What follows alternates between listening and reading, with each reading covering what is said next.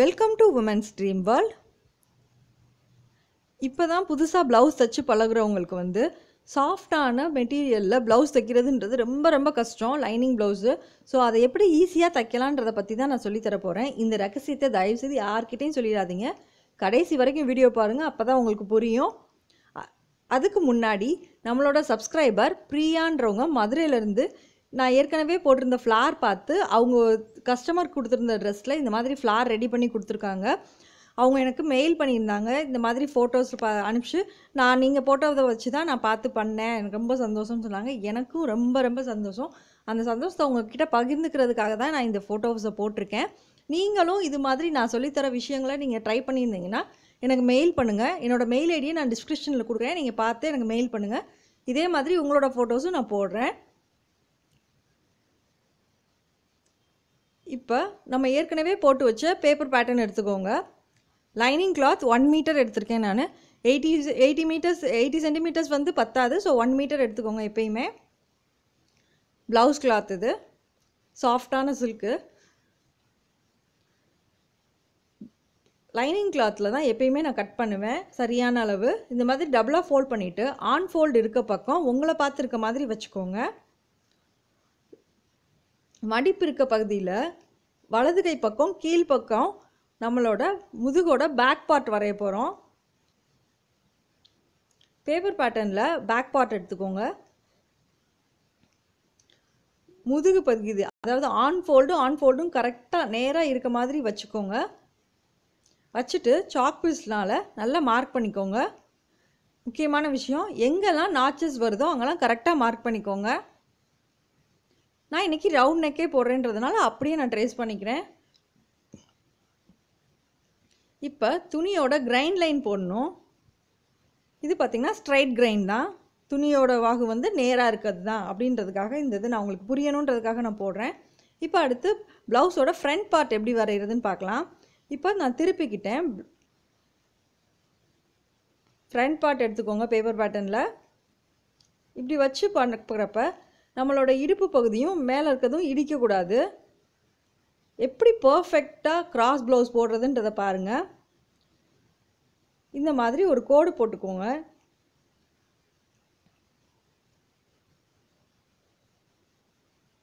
அடுத்து இந்த இதுக்கு பேஸ் பண்ணி ஒரு ட்ரையாங்கிள் வர மாதிரி போட்டுக்கோங்க. எல்லாருமே ப்ளவுஸ் தைப்பாங்க. ஆனால் பர்ஃபெக்டாக கிராஸ் ப்ளவுஸ் கரெக்டாகவே அமையாது. ஸோ அந்த ரீசன் வந்து இதனால தான் இப்படி போடுறப்ப தான் துணியோட வாகு பார்த்திங்கன்னா குறுக்க கிடைக்கும். ஸோ இந்த மாதிரி முக்கோணம் வர மாதிரி பார்த்துட்டு அந்த லைன் மேலே நம்ம ஏற்கனவே போட்டு வச்ச பேப்பர் பேட்டர்னோட ஷோல்டர் வந்து கரெக்டாக வர மாதிரி பார்த்துக்கோங்க. இப்போ சாக் பீஸ்னால் மார்க் பண்ணிடுங்க ஃபுல்லாக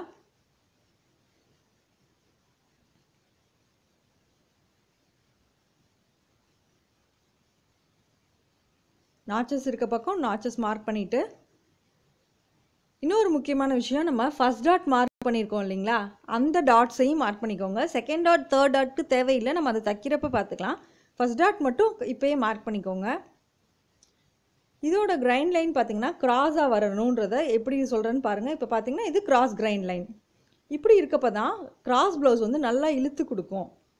பர்ஃபெக்டாக கிராஸ் கிடைக்கும். இது ஒரு முக்கியமான விஷயம். அடுத்து பார்த்திங்கன்னா பெல்ட்டு பெல்ட்டுக்கு எந்த பக்கம் கிடைக்கும் துணின்னு பார்த்தீங்கன்னா முதுகு பகுதிக்கு பக்கத்துலேயே கிடைக்கும். இந்த மாதிரி கரெக்டாக வச்சுக்கோங்க. கரெக்டாக வச்சுட்டு ட்ரேஸ் பண்ணிக்கோங்க. நாச்சஸ் இருக்க பகுதியை நான் கரெக்டாக மார்க் பண்ணிக்கோங்க. அடுத்து ஸ்லீவ் ஸ்லீவ் பார்த்தீங்கன்னா நம்ம இதில் பார்த்திங்கன்னா ஃபோல்டு இருக்கும். ஆன் ஃபோல்டுக்கு எப்படி மார்க் பண்ணுறதுனா இந்த பகுதியும் நம்ம மடிப்பு இருக்கு இல்லையா அந்த பகுதியும் ஒன்றா வர மாதிரி வச்சுக்கோங்க. அதான் சென்டராக கிடைக்கும். இந்த மாதிரி வச்சுட்டு கரெக்டாக அந்த நாச்சஸில் மார்க் பண்ணிக்கோங்க. ஸ்லீவை விரித்து வச்சு ட்ரேஸ் பண்ணிக்கிறது பெஸ்ட்டு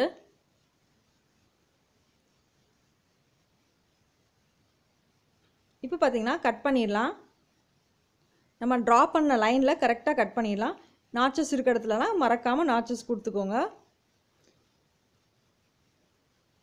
இப்போ இந்த ஃப்ரண்ட் பார்ட் இருக்கு இல்லையா? ஃப்ரண்ட் பார்ட்டில் இருக்க ஃபஸ்ட் டாட்டை எப்படி நாச்சஸ் கொடுக்குறதுன்னு பாருங்கள் ரெண்டு துணியும் ஈக்குவலாக இருக்க மாதிரி மடக்கி வச்சுக்கோங்க. இல்லைன்னா ஒரு பக்கம் இருக்க டாட் வந்து வித்தியாசமாக போயிடும். ஸோ அதனால் ரொம்ப கவனமாக வச்சுக்கோங்க. ஃபர்ஸ்ட் டாட்டை ரெண்டையும் மடக்கிட்டு இந்த மாதிரி நாச் கொடுத்துட்டு உங்களுக்கு தைக்கிறப்ப ரொம்ப ஈஸியாக இருக்கும். அடுத்து இன்னொரு முக்கியமான விஷயம் நிறைய பேர் பண்ணுற தப்பு இந்த மார்க் போடாமல் இருக்கிறதுனால தான் இந்த மாதிரி இன்ட்டு மார்க் போட்டுட்டிங்கன்னா உங்களுக்கு ரொம்ப ஈஸியாக இருக்கும் தைக்கிறப்ப. நான் அது எப்படின்னு சொல்லிட்டு நான் தைக்கிற வீடியோவில் உங்களுக்கு சொல்கிறேன் ஸ்லீவில் பார்த்தீங்கன்னா ஒரு பக்கம் ஓப்பனாக இருக்கும் ஒரு பக்கம் ஆன் ஃபோல்டில் இருக்கும். அதை கட் பண்ணிடுங்க விரித்து வச்சுட்டு. நாச்சஸ் இருக்க பகுதியில் நாச்சஸ் கொடுத்துக்கோங்க. அதே மாதிரி நிறைய பேர் பிகினர்ஸ் விடுற தப்பு கை ரெண்டு கையுமே ஒரே கையாக வச்சுருவாங்க. ரைட்னா ரைட்டு லெஃப்ட்னா லெஃப்ட் ரெண்டுமே ஒரு லெஃப்டாக இருக்கும். ஸோ இந்த மாதிரி இன்ட்டு போட்டுக்கிட்டிங்கன்னா அந்த குழப்பம் உங்களுக்கு வராது. இப்போ ப்ளவுஸ் கிளாத்தில் எப்படி வரைகிறதுன்னு பார்க்கலாம். இந்த மாதிரி டபுளாக ஃபோல்ட் பண்ணிக்கோங்க. ஃபோல்ட் பண்ணிவிட்டு நம்ம கட் பண்ண கிளாத்தை இது மேலே விரித்து வச்சுக்கோங்க. முக்கியமான விஷயம் கவனிங்க. இந்த மாதிரி ஒரு லைன் போட்டுக்கோங்க பேக் பார்ட்டுக்கு போட்டுட்டு ஃப்ரண்ட் அந்த பேக் சைடில் இருக்கு இல்லையா? சரியான அளவுக்கு ஒரு சின்ன மார்க் மட்டும் பண்ணிக்கோங்க. மிச்ச பகுதியில் எல்லாத்துலேயுமே எக்ஸ்ட்ரா ஒரு அரை இன்ச்சுக்கு மேலேயே கூட எக்ஸ்ட்ரா வரைஞ்சிக்கோங்க. நிறையா பேர் என்ன பண்ணுவாங்கன்னா ஒரே அளவுலேயே கட் பண்ணுவாங்க. தயவு செய்து பிகினர்ஸ் அப்படி கட் பண்ணாதீங்க. உங்களுக்கு பத்தாமல் வந்துடும் ஸோ ஃபஸ்ட்டு அந்த மாதிரி பண்ணிக்கோங்க. ஃப்ரண்ட் பார்ட்டுக்கு நம்ம ஏற்கனவே லைன் போட்டு ஒரு ட்ரையாங்கிள் ரெடி பண்ணுவோம் இல்லையா? அந்த மாதிரி போட்டுட்டு அதுக்கப்புறம் எல்லா பக்கமும் எக்ஸ்ட்ரா ஒரு அரை இருக்க மாதிரி எக்ஸ்ட்ரா லைன் போட்டுக்கோங்க. ஷோல்டர் பகுதிக்கு மட்டும் அந்த எக்ஸ்ட்ரா லைன் வேண்டாம். மிச்சம் எல்லா பகுதியிலையுமே எக்ஸ்ட்ரா லைன் வர மாதிரி போட்டுக்கோங்க. அதே மாதிரி தான் பெல்ட்டுக்கும் எல்லா சைடும் ஒரு ஹாஃப் இன்ச் இருக்க மாதிரி எக்ஸ்ட்ரா மார்க் பண்ணிக்கோங்க. ஸ்லீவ்க்கு மட்டும் அந்த ஸ்லீவ் சேஃப்கே வரையாமல் ஒரு ஸ்ட்ரைட் லைனாக போட்டுக்கோங்க. தைக்கிறப்போ உங்களுக்கு இதை பற்றி நான் டீட்டெயில்ஸ் சொல்கிறேன் உங்களுக்கு அப்போ புரியும். இப்போ பார்த்தீங்கன்னா கட் பண்ணிடலாம். எப்படி கட் பண்ணுறேன்னு பாருங்கள் நான் நெக் பார்ட்டெல்லாம் வரையவே இல்லை. சும்மா ஸ்ட்ரைட்டாக தான் கட் பண்ணுறேன்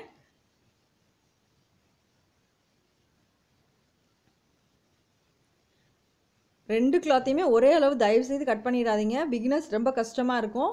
ஸோ இந்த மாதிரி எக்ஸ்ட்ரா கட் பண்ணிக்கோங்க. இப்போ கொஞ்சம் கவனிங்க. நம்ம ஏற்கனவே சரியான அளவுக்கு மார்க் பண்ணியிருக்கோம் இல்லையா? ஷோல்டர் அந்த மா பகுதியில் ஒரு சின்ன ஸ்லிட் மட்டும் கொடுத்துக்கோங்க. ரொம்ப பெருசாக கட் பண்ணிடாதீங்க.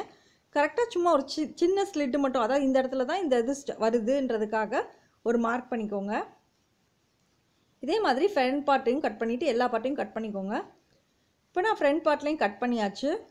அதே மாதிரி சின்ன சின்ன ஸ்லிட் கொடுத்துட்டேன். பெல்ட்டுக்கு பெல்ட் பகுதியில் வந்து நாச்சஸ் எந்த பக்கம் வருதோ அந்த பக்கம் கரெக்டாக நாச்சஸும் கொடுத்துக்கோங்க. ஸ்லீவுக்கு பார்த்தீங்கன்னா ஸ்ட்ரைட்டாக கட் பண்ணிட்டேன். இப்போ பார்த்தீங்கன்னா ஒரு முக்கியமான விஷயம் நம்ம வந்து இதை என்ன பண்ண போகிறோம் நம்ம இதுதான் ரொம்ப முக்கியமான விஷயம் கவனிங்க. ஒரு பெட்ஷீட் கிளாத் எடுத்துக்கோங்க. அதை விரிச்சிட்டு அது மேலே நம்ம சொன்னேன் இல்லையா ஒரு ரகசியம்னு சொன்னேன் இல்லைங்களா? அந்த ரகசியம் தான் இப்போ பண்ண போகிறோம் பாருங்கள் கிளாத்தில் ராங் சைட் ரைட் சைட் பார்த்துக்கோங்க இப்போ இது வந்து கெட்ட பகுதி இது வந்து நல்ல பகுதி. கெட்ட பக்கம் வந்து மேல் பக்கம் இருக்க மாதிரி வச்சு இந்த லைனிங் கிளாத்தை அது மேலே விரித்து வச்சுக்கோங்க. நம்ம ஏற்கனவே ஸ்லிட் கொடுத்துருக்கோம் பார்த்தீங்களா ஷோல்டர் ஸ்லிட்டு ஸோ அந்த கரெக்டாக அந்த ஷோல்டர் ஸ்லிட்டு இதுவும் போய் கரெக்டாக உட்கார்ற மாதிரி பார்த்துக்கோங்க நல்லா ஈவனாக விரிச்சுக்கோங்க. இது தாங்க அந்த ரகசியம். ஃபேப்ரிக் க்ளூ இது வச்சு நம்ம எப்படி லைனிங் கிளாத்தையும் ப்ளவுஸ் கிளாத்தையும் எப்படி கம் வச்சு ஒட்டிடுறோம் நம்ம தைக்கிறப்போ என்ன ஆகும்னா ஒரு பக்கம் இழுத்துட்டு போகும் ஒரு பக்கம் நிறைய கிளாத் வரும் ஒரு பக்கம் பத்தாமல் இருக்கும். ஸோ இந்த மாதிரி பெட்ஷீட்டில் விரித்து வச்சு பண்ணுறப்ப பர்ஃபெக்டாக கிடைக்கும். நீங்கள் ஒரு தடவை ட்ரை பண்ணிங்கன்னா கண்டிப்பாக எனக்கு சொல்லுவீங்க. இந்த மாதிரி எல்லா பக்கமும் நிறைய கம் வைக்காதீங்க. கொஞ்சம் கொஞ்சமாக இந்த மாதிரி டாட்டடாக வைங்க. கொஞ்சம் கேப் விட்டு கேப் விட்டு வைங்க போதும். எங்கெங்கே கம் வைக்கணும்னு நான் சொல்கிறேன் இந்த பகுதியில் கம் வைக்க வேண்டாம். முதுகு பகுதி மடக்கிற பக்கம் கம் வைக்க வேண்டாம். மிச்சம் எல்லா பகுதியிலையுமே கம் வந்து கொஞ்சம் டிஸ்டன்ஸில் வச்சு வச்சுக்கோங்க. நான் வச்சுட்டு எப்படி இருக்குன்னு காமிக்கிறேன். இப்போ பாருங்கள் நான் அங்கங்கே கம் வச்சுருக்கேன். நல்லா ஒரு பத்து நிமிஷம் காய விட்டுருங்க. கீழே வந்து கம் வைக்கல பாருங்கள் ஓப்பனாக இருக்குது ஒரு பத்து நிமிஷம் காய விட்டுருங்க. இதே மாதிரி ஃப்ரண்ட் பார்ட்டுக்கும் பண்ணிக்கலாம். ஃப்ரண்ட் பார்ட்டில் எப்படின்னு பார்த்துக்கோங்க. இது வந்து ரைட் சைட் ப்ளவுஸோட ரைட் சைடு இது. ராங் சைடில் தான் நம்ம வைப்போம் கிளாத்தை ஸோ ராங் சைடு ரெண்டு பக்கமும் இருக்க மாதிரி எடுத்துக்கோங்க. லைனிங் கிளாத்தில் நம்ம இன்ட் மார்க் போட்டோம் இல்லையா? ஸோ அது இப்போ ரொம்ப கவனமாக வச்சு வைங்க. இன்ட் மார்க் வெளியே தெரிகிற மாதிரி ஒரு பீஸில் வச்சிங்கன்னா ஆப்போசிட் பீஸ்லேயும் ரை இன்ட் மார்க் வெளியே தெரிகிற மாதிரி வைங்க. அப்போ தான் லெஃப்ட்டு ரைட்டுன்னு கரெக்டாக கிடைக்கும். இப்போ பார்த்தீங்கன்னா இது ரைட் சைடு இது லெஃப்ட் சைடு இப்போ எல்லா பக்கமும் இதில் வந்து க்ளூ வச்சிட வேண்டிதான் இதையும் ஒரு பத்து நிமிஷம் காய விட்டதுக்கப்புறம் கட் பண்ணிடலாம். எப்படி கட் பண்ணுறேன்னு பாருங்கள் எல்லா பகுதியிலையும் இதை கட் பண்ணிட வேண்டிதான் அதே மாதிரி ஃப்ரண்ட் பார்ட்லேயும் எல்லா பகுதியும் கட் பண்ணிடலாம். கட் பண்ணதுக்கப்புறம் நான் எப்படி இருக்குன்னு காமிக்கிறேன். இப்போ பார்த்தீங்கன்னா நான் நெக்கையுமே கட் பண்ணிட்டேன். இந்த பீஸையும் ரெடியாக வச்சுக்கோங்க. அதே மாதிரி ஃப்ரண்ட் பார்ட்லேயுமே ரெடியாக எடுத்துக்கோங்க. கட் பண்ணதுக்கப்புறம் இதை வச்சுருங்க. இது எதுக்காக இந்த மெத்தட்னு பார்த்தீங்கன்னா நம்ம வந்து புதுசாக தைக்கிறவங்களுக்கு கொஞ்சம் கஷ்டமாக இருக்கும் இல்லையா? ஸோ இந்த மாதிரி பண்ணுறப்ப நம்ம ஒரு நார்மல் ப்ளவுஸ் எடுத்து எப்படி கட் பண்ணிட்டு தைக்க உட்காருவோம்? அது மாதிரி ஈஸியாக நீங்கள் தைக்க உட்காந்துடலாம் இப்போ இதில் ஸ்லீவும் பெல்ட்டும் வச்சுட்டு இந்த மாதிரி ரோல் பண்ணிக்கோங்க. ரோல் பண்ணிவிட்டு ஒரு கட்டி வச்சுருங்க. உங்களுக்கு ஒரு சின்ன பீஸ் கூட மிஸ் ஆகாது. நான் இதில் பெல்ட் பார்ட்டும் சாரி பட்டன் பட்டியும் நெக்கு கிராஸ் பீஸும் நான் அதில் கட் பண்ணல. நான் ப்ளவுஸ் கட் ப ஸ்டிச்சிங் பண்ணுறப்ப நான் உங்களுக்கு பண்ணி காமிக்கிறேன். ஸ்டிச்சிங் வீடியோ கூடிய சீக்கிரம் போடுறேன் நான். இந்த மாதிரி கட்டி வச்சிட்டிங்கன்னா மிஸ் ஆகாது எந்த பார்ட்ஸும் அடுத்து ஸ்டிச்சிங் வீடியோவில் பார்க்கலாம்.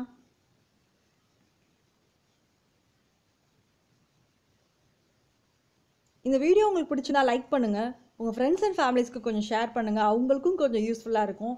உங்களோட டவுட்ஸை எனக்கு கமெண்ட் பண்ணுங்கள் நீங்கள் பண்ண விஷயங்களையும் எனக்கு மெயில் பண்ணுங்கள் மெயில் ஐடியை நான் டிஸ்கிரிப்ஷனில் கொடுக்குறேன். உங்கள் கனவுகள் நனவாகட்டும். மேலும் பல சுவாரஸ்யமான புதுமையான வீடியோக்களுடன் உங்களை சந்திக்கின்றேன். என்னோட வீடியோவை ரொம்ப ரொம்ப பொறுமையாக பார்த்ததுக்கு நன்றி.